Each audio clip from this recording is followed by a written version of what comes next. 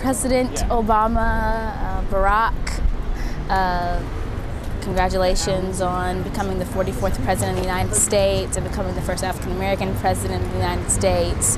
What I want to say, what I want to talk about is just um, education. Uh, I feel like education is the most important thing, the, the, thing you can give to a child. It's, it's someone's opportunity to, to succeed in life. Um, and I feel that no one can truly succeed in life without a solid and um, equal opportunity education, meaning education that is just as good as the next person's. Um, right now I'm a college student, so I'm paying for my education arm and leg. And what I want to ask of you is just that you would work, and I know that you are working to help alleviate the cost uh, of, of college. It's, it's, a big hindrance for a lot of people. Um, they have the grades, they have the mind, they don't have the money.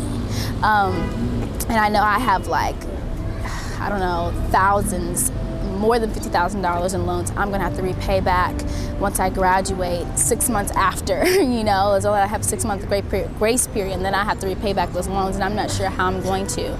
Um, but I would just ask that you work to alleviate um, that, that burden because no one should be held back from an education. No one should be, um, no one's opportunity or dream should be stolen by uh, uh, inability to pay.